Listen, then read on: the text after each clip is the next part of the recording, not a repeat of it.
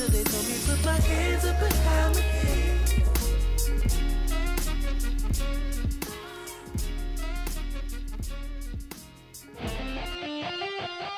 Good morning, Wolves, and welcome to Pack TV. I'm Kyler Thompson, and it's Monday, October. It's not Monday. It's actually Thursday, The the 8th. 8th. Sorry. And I'm Lexi, and today is National Fluffernutter Day. And if you don't know what that is, it's peanut butter and marshmallow cream sandwich. And apparently they're really good. Seniors, packets for ordering cap and gowns for graduation are due today. Also, s- oh, you can do that. also, seniors, this month is college application month. So get ready to get called down by Miss Jones at some point this month. Students, we need you to start wearing your ID badge.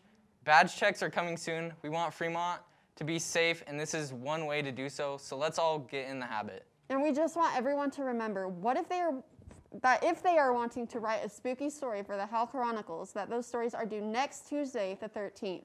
Make sure they're scary and not gory, and turn them into Miss Guyver.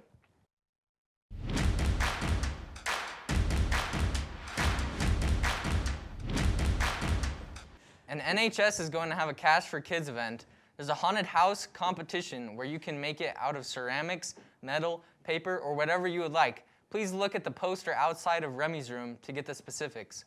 The submissions are due on October 23rd. The NHS also has hidden five Waldo signs around the school to help you get registered for those that want to sign up for NHS. You can find them and turn them in to get some prizes from NHS advisors. Good luck finding Waldo. The FFA is having a social on October 22nd at the school, Farm and Taylor.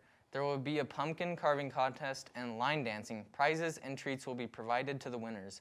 This social is for members only, so if you haven't signed up to be a part of the FFA, do so now. They also want to remind all members to bring your own carving tools and pumpkins if possible, and remember to wear a mask. And now let's go to the locker room with Sports with Avery.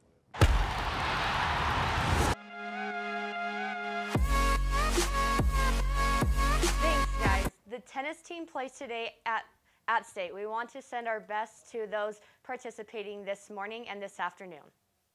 The volleyball team has a huge event today before, during, and after their game against Weber. It's, it's called Amy Strong.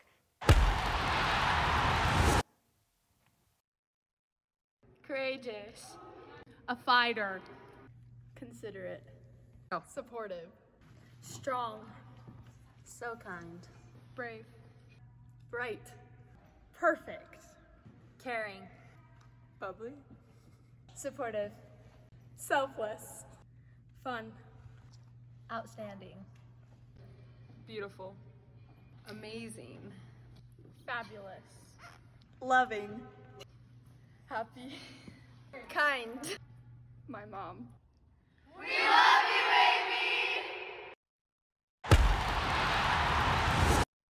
That's right. Amy was diagnosed with brain cancer last February. All donations from this benefit will go to Amy. Over $1,500 have been donated as a gift to be auctioned off. If you have any questions about this, please go to Coach Bowles or go to Fremont Volleyball Instagram account. Chick fil A will be there as well, so if you just want a snack, head to the game tonight. The girls soccer team begins the playoffs tonight at 4 p.m. They are host- they are hosting Taylorsville. They would love to see the student body out there cheering them on. The boys the boys lacrosse no. Okay, the boys lacrosse team is having an open on the turf next Monday, the 12th and the 13th from 7 to 9 p.m. Equipment is not necessary. Just show up and start playing. And finally, the football game is tomorrow at Davis at 7 p.m. Good luck, boys. And that's it for sports. Back to you two.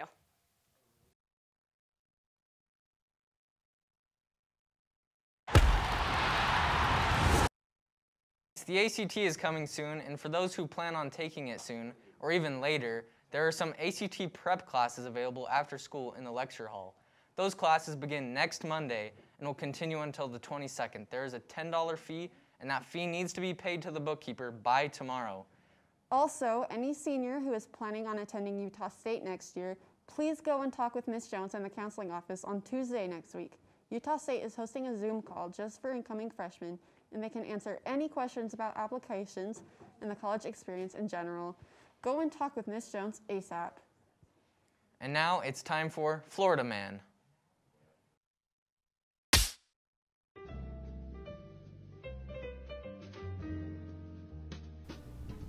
Hi, I'm Hayden, and on this day in Florida, a man went into Walmart and stole two flat screen TVs. As he was escaping, his pants fell down, but he got away.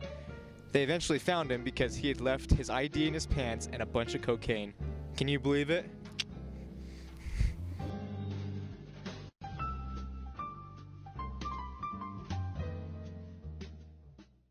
And now we have our second episode of Day in the Life with the drill team. Let's look at that.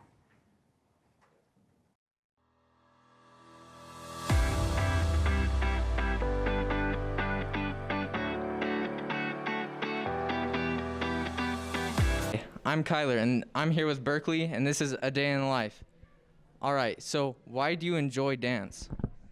Um, I enjoy dance because I'm with all my friends and we work really hard, and it's just cool to work that hard, and we get to perform for the whole school, which is super fun too. So, yeah.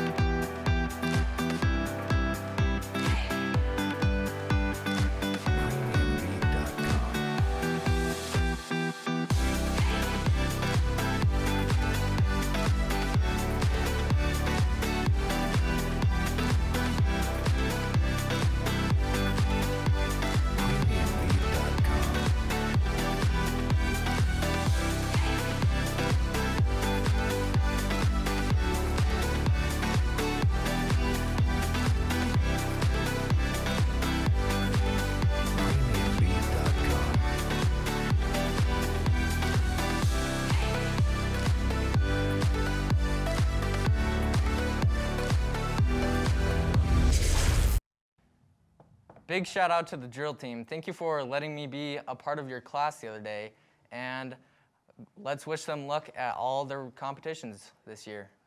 That's it for Pack TV. Remember to follow us on FHS Pack TV on Twitter and Instagram.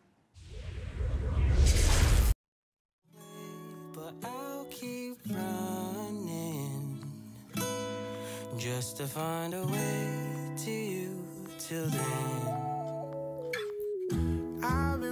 running from it. I'm tired of running from it. I'm scared.